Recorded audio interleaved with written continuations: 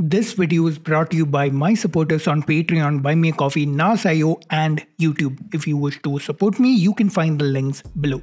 What's up, folks? Welcome to that lonely corner of the internet of YouTube where rationality likes to hang out. But I fear that corner is getting smaller and smaller because audiences online are flocking to channels like these. This is HyperQuest, a channel that's on a mission to bring out the science that's in our culture. Even if that means misrepresenting facts, misinterpreting verses, or just plain lying to you. I thought we should take a look at this channel today. My name's Pranav, you're watching DD Rational. Let's begin.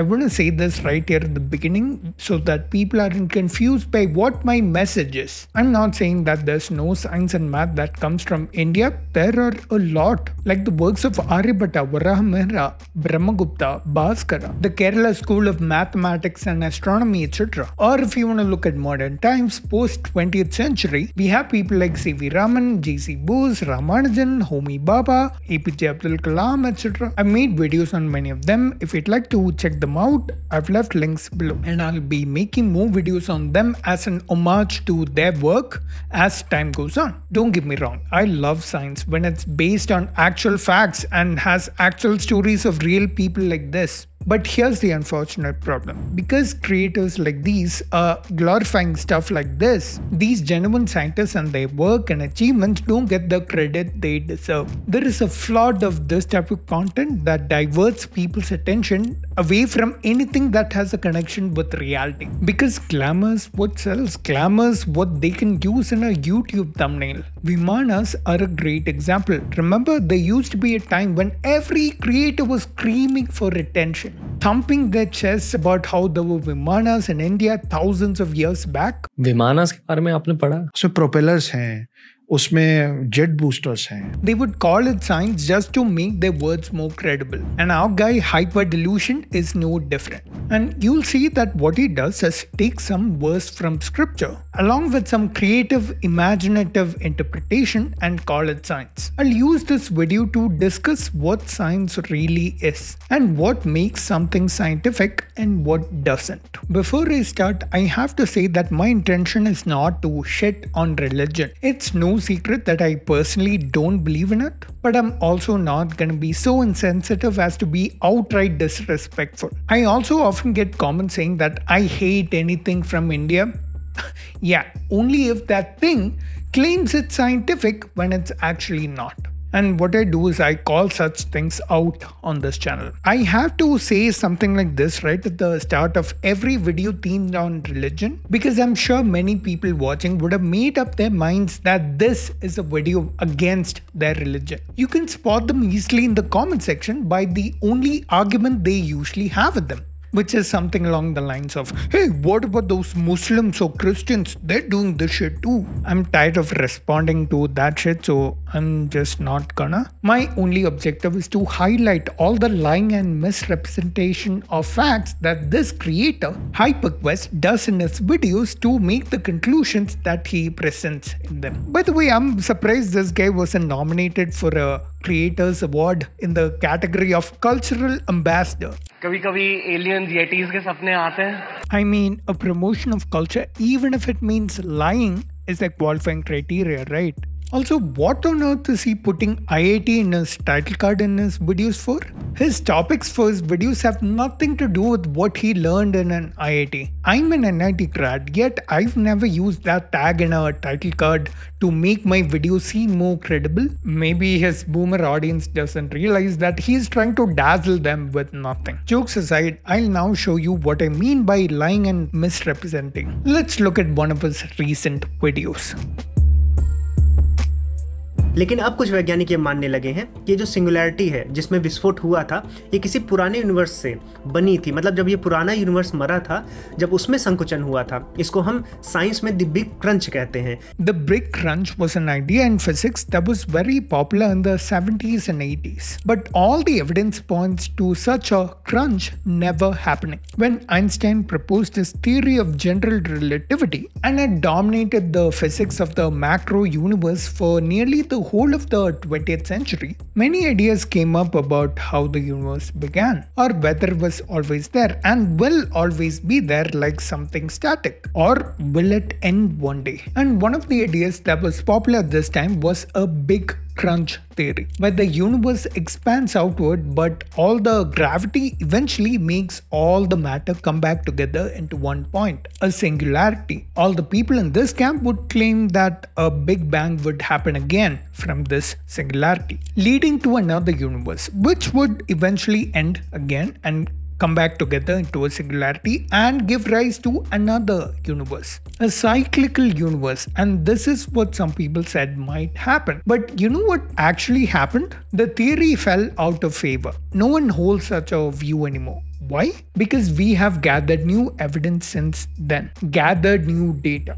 and everything points to the universe expanding forever. The expansion is not slowing down, instead, it's accelerating. So, no scientist today believes in the idea of the big crunch. You can look this up yourself if you don't believe me. Anyway, I've left some sources below. Scientists now believe in an idea called the big freeze or the heat death of the universe, where this same expansion forever leads to a state where all we have are white dwarfs, which are dead stars so far away from each other that there is no generation of heat in any part of the universe. But our friend HyperQuest here needs to pretend that scientists still believe in this idea of cyclical universe because that's what matches the scriptures from his religion. और इसी को cyclic nature of universe कहते हैं जैसा कि हमारे सनातन धर्म में भी हमने देखा है कि जो हमारा समय है वो साइक्लिक है युग बार बार रिपीट होते रहते हैं यूनिवर्स बनता है फिर बिगड़ता है फिर बनता है फिर बिगड़ता है ये जो पूरा साइक्लिक नेचर है ये अब हम विज्ञान में भी देखने लगे हैं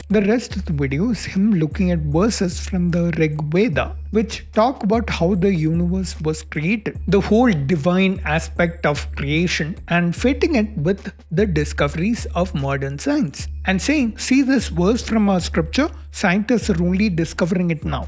I'll show you what I mean.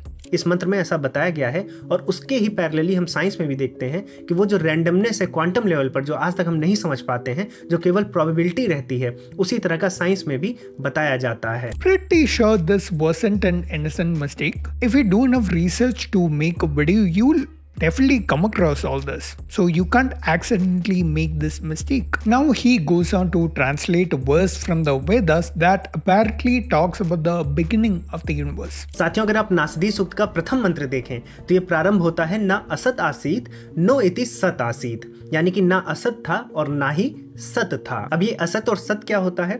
सत का अर्थ होता है एग्जिस्टेंस अस्तित्व, और असत का अर्थ होता है non existence interesting if you look at this other really famous verse असतो म सदगमया which was made really famous by the movie the Matrix असतो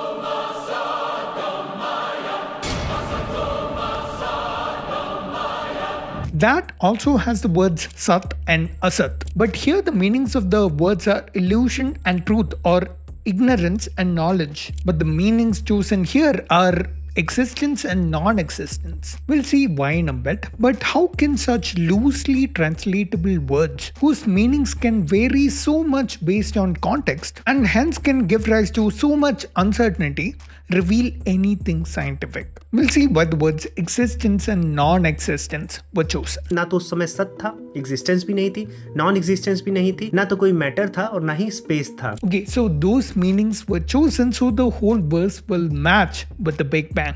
This is what's called a liberal interpretation. Let's talk about what this means. Science had to learn about the Big Bang, and only then this verse could have been translated and interpreted in a way so as to match with the Big Bang. Otherwise, we should have learned about the Big Bang from this verse. I mean, science only learned about the Big Bang in the first half of the 1900s, and this verse was there well before that for thousands of years. So, why didn't we learn about the Big Bang from it? And answer this question soon अब साथियों अगर आप दूसरे मंत्र को देखें तो ये प्रारंभ होता है न मृत्यु आसित अमृतम न तरही। मृत्यु भी नहीं थी और मृत्यु से बचने की जो लालसा है जो अमरता है वो भी नहीं थी। अब इसके बाद बोला गया है न रात्र्या अहन आसित। यानी कि ना तो रात थी और ना ही दिन था। The very next verse talks about no death and immortality no night and day and I realize that these verses are talking about concepts in human experience because probably because they were written by humans of that time who claimed that they were divinely received, divinely obtained to make their words sound more credible. Otherwise, what's the need of talking about something so obvious like there was no concept of death at the beginning of the universe, which nobody would even talk about. The rest of the video is him translating more verses and making it fit with the Big Bang. I don't see any point of looking at the rest of this video because we already know the pattern of what he's trying to do in the whole video. What's more useful is if we discuss why it's really stupid to call this science. So let's try and answer that. In science, things progress as we find new evidence. We look at the world around us, gather new observations, aka data, aka evidence, and that's how we learn. No one knows anything magically. There's no divine revelation of how the world works. No one writes these things in a book for us to learn from a thousand years from now. This channel and others like it constantly give the impression that this knowledge somehow divinely came down to us. No, we have to observe and figure these things things out. Now, you might ask me, what about schools? You learn things from books there too, right? So, what's the difference between these scriptures and those school textbooks? Simple, the difference is that I know what you're gonna say. Oh, these were learned through evidence and then written in those textbooks. Um, that's right. That could have been the same case with scriptures. What if they were learned through evidence and then written down in those scriptures? How would we know? That's a beautiful question. Okay, here's the difference. Watch this clip when you've seen the kind of damage a swinging wrecking ball can do, and you still put yourself in the path of that wrecking ball, and the ball stops just short of your face. How did he know where the ball would stop? Because physics lets him predict exactly what that point is going to be. And this predictability of science is what makes it so powerful. And it's not just physics, all branches of science have this predictive power. Take biology. When there's a pandemic like COVID 19 caused by a virus, medical researchers don't randomly start drug trials on random chemicals and drugs to try and hopefully develop a vaccine, they can predict which drug molecule can target specific proteins on the viral cell and hence can be a vaccine candidate that can kill the virus or stop it from replicating and bring the world back to normalcy. Or take astronomy and astrophysics. Before we ever landed on Mars, we predicted the exact concentration of elements we'd find in its atmosphere using methods like spectroscopy. And when we landed, we were able to confirm it. In every case, science is able to make a prediction and we're able to test that prediction and achieve results. This predictive power is what makes science science. If a prediction fails, that is, if we find new evidence that goes against the prediction, hey, no problem. We build a new model, a new model based on the new evidence that we learned, and use this new model to make more predictions like the big crunch model that we saw before.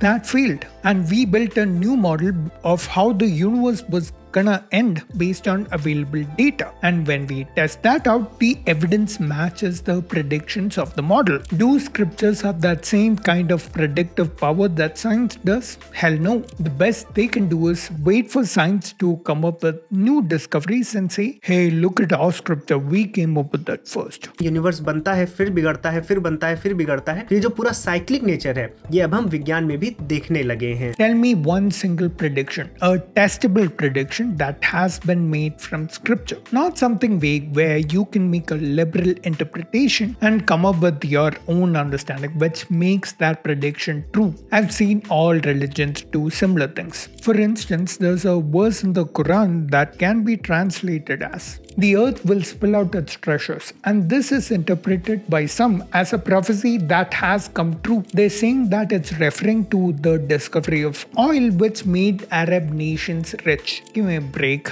Look at how vague all this is. The original verse never spoke anything about oil. That's a liberal interpretation. It never spoke about where in the world these treasures would be found because there are other parts of the world with oil. So that's another liberal interpretation. And these predictions don't have any logical basis where they are deduced from other learnings and understandings we have. They're just mentioned in the scriptures and it's somehow automatically believed to be true. Anyway, I hope I've made my point on why these can never be called scientific, no matter how much someone often forcefully makes it resemble science. Finally, I wanna close this video by saying this I don't have a problem with him or anyone celebrating their religion and their culture. What I have a problem with is him or anyone associating it with science because that cannot be done without lying and misrepresenting as I've shown you. And when someone so big with millions of subs is doing it, I cannot sit here quietly. Not while I have this channel that's dedicated to rational thinking.